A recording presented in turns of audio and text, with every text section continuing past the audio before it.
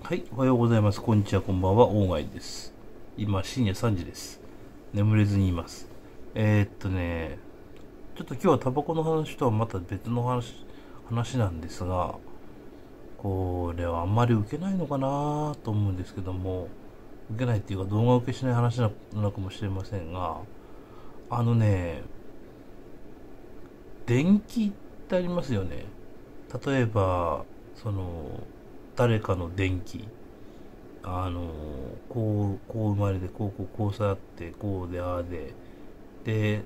何歳の頃に何かがあって、何かがあって、何かがあって、最終的にこうなって死んだっていう電気。もしくはあと自助伝とかね、自分のことを電気にして書いたやつとかあったりしますね。で、俺そういうの読まないんですよ。なんでかっていうとね、なんかうさんくさい感じがして読まなかったですね。で、それと同時に、あと、講演会とか、えーっと、演説じゃないけど、どう言ったらいいのかな。うんと、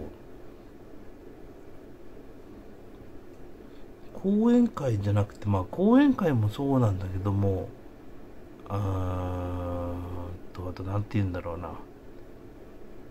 まあ、なんでもいいや。こう、人前で、こう、自分のことを引き引き合いにしながら、あのーなんだろう、語りかけていって、で、結局最後にこうです、こうですっていう結論をこう、言うような、あのー人も、なんか心に響かんなーっていうふうに思ってたんですけど、それって単純な話で、よくよく考えたら単純な話で、違うからなんだよね。自分とその他人が。で、よくあるのが、あのみんなどっか勘違いしてるんだけど、あの何かに成功した人は、あの何か共通のものを持ってるんじゃないかっていうふうに考える人って多々いるんですよ。あの、これで成功した人は、あれで成功した人と何か共通事項があるんじゃないかとか、もしくは、まあ何でもいいですね。例えば、えーっと、まあ例えばですよ。例えば、うーんと、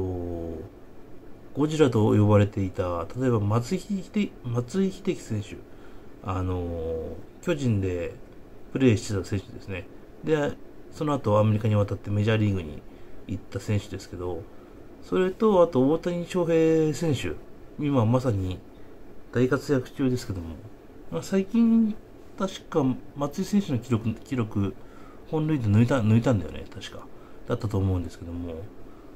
じゃあこの二人の差は何かとか、うーん、そういうのもある、そういうのも、そういうのでもそうですし、あとまあ、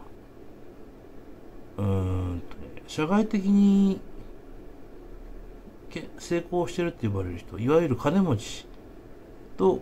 まあ、明日明日の食い物すらなら、食い物すら、ちょっと怪しいくらいの、貧乏人って言い方ちょっとあんまり言いたくしたくないけど、貧しい人たちとかがいるわけなんですけども、じゃあ、この差は何かあるんじゃないのっていう、あのーまあ実際差がある理由はあるんだけども、なんでそうなったのっていう理理由とかって考えてった時に、あの、それって極端な話、運でしかないんだよね。あの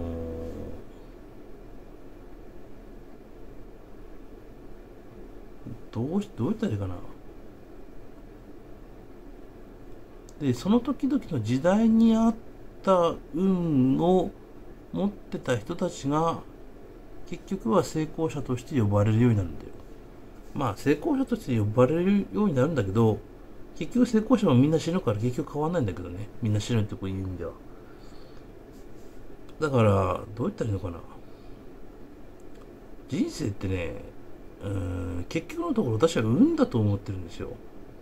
で、なるようにしかならないと思ってるので、あの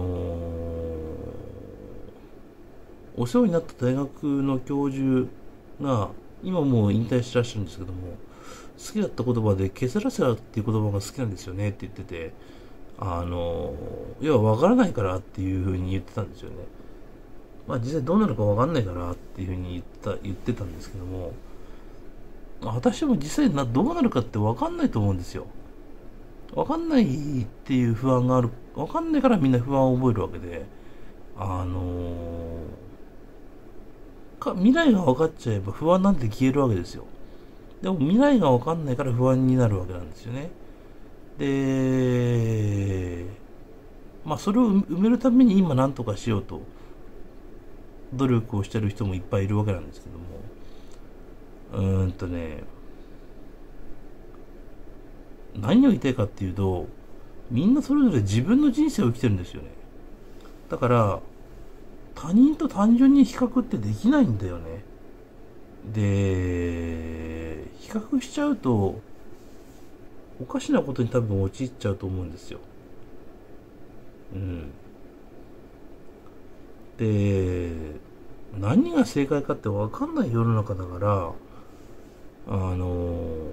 犯罪が正解だっていうことを私は言いたいわけじゃなくないんだけども何が正解だか分からない世の中だからまあ実際ね何が起こるか本当に分かんないしもしかしたら私はもう今日のこの動画を上げた頃死んでる可能性だってあるわけなのでまあどうなってるか分かんないわけなんですけども実際ねだから何かを決めるっていうのは私は運だと思うんですよね。で努力すればなんとかなるっていうのはあの非常に耳障りがいいんだけどこれってね成功者しか言わないんだよね。努力すればなんとかなるっていうことって。でこの最も最たる例が悪い意味でなってるのが学校の教員なんだよね。学校の教員ってさ教員目指してやってるわけ基本的には。もしくは教員になるかもしれないと思って教員免許を取るわけだよ。で試験に行って合格してで教員の晴れて教員になるわけだ。で教員たちの学校の教員たちの教師たちのあのー、キャリアって大学小中高大って言ってで卒業してどっかの学校に配属されるっていうそのキャリアってさあのどっかで挫折したりおだおだれたりしたことがないんだよね。どっかでくじけたことがないんだよ。でくじくじけたことがないまま学校っていう教育現場に行って子供に対して努力しろっていうわけだよね。でだけどそれって教員たちは運よく努力したことが叶ってきたから努力しろ、努力できた。運、運よく努力が実るような環境に運よくいたわけよ。って言ったらいいかな。まあ、運よくなれたわけよ。で、それは自分では努力したと思っていながら、あの、実際は努力じゃなくて運なわけだよ。極端なこと言うと。努力できる、できるかどうかも運で決まってる。だから、あの、教員がおかしい人がおかおかしい人が多いっていうのは、私はここに起因してると思ってて、努力してきたから自分は教員になれたって勘違いしてる奴らがいっぱいいるからだと私は思ってるんですね。で、そこ、それで努力しろ努力しろっていうのって、あの、将来がわからない子供にとっては苦痛でしかないと思うんだよね。正直。あのー人それぞれ夢があっていいと思うんですよ。目標があって。こうなりたい、ああなりたいって。まあ、例えば何でもいい。何でもいい。飲食店やりたいとか、警察官になりたいとか、消防士になりたい。サラリーマンになりたい。まあいろいろいっぱいあると思うんですよ。それぞれ。あの、道というか、夢というか、願望っていうのは。私はそれはいっぱいあっていいと思うんだけども、頑張ればなれるよっていうようなことを教員が言ってるのって、それってちょっとおかしいんじゃないかなと思うんだよね。で、実際に夢が叶う人って何パーセントだったかなかなり少ないんですよ。希望する仕事に就けるっていう人は。っ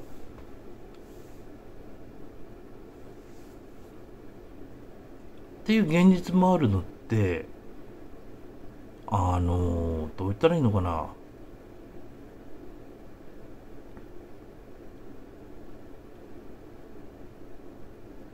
努力も含めて私は運だと思ってるんだよね。うん。でこればっかりはどうにもならないものだと思ってて、まあ、世界は時計であるって言った哲学者がいたんだけどもあの 要はもう世界の動きを決まっててただその通りに世界が動いてるだけであって時計と変わらんと。いうふうに言った哲学者もいたくらいなんだけどもね私はその考え方に結構近くてあの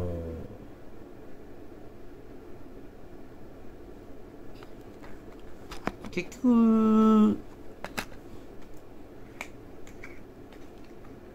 なるようにしかならないんじゃないかと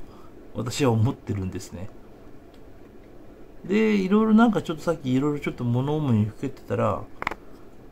ああ、俺の考えてることは、あのー、なんだ、こういうことかと。結局、自分と他人っていうのは、そもそもが違うわけだから、あのー違う者同士が分かり合うっていうのって何か共通の何かがないと分かり合うことはできないだろうしそもそも共通でないものっていうものが多すぎるのでうーん分かり合えるっていう時が来るのってどういう時なんだろうなっていうふうに思ったりするんですよね。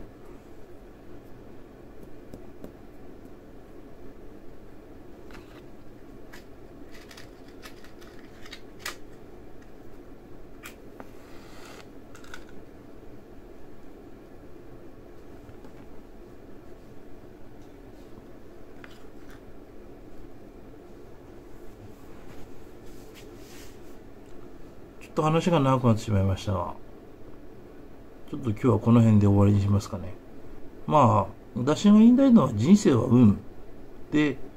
努力するかどうかも、もう運で決まってる。そして、結局はなるようにしかならない。っていうことですね。ということを私はちょっと申し上げておきたかった。っていう感じですね。はい。まあ多分反論してくる人もいっぱいいると思います。それに対して。あの、どうぞ反応してください。あの、いろんな意見をお待ちします。うん。人と分かり合うというのはなかなか難しいものですよね。本当に。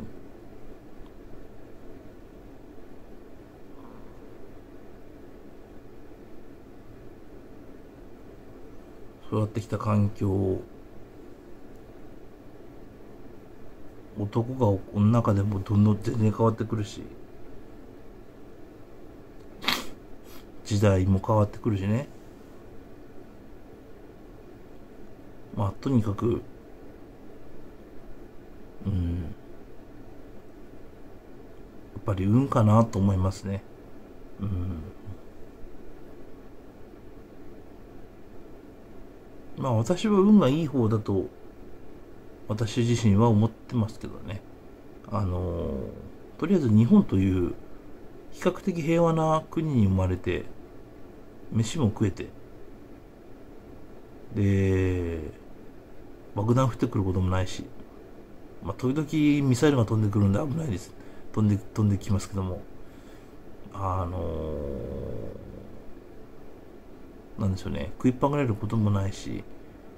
あの、家に、家に住めるし、家に住めるしって言い方変だけども、要は雨風しのげる、ちゃんと家が、もしくは部屋が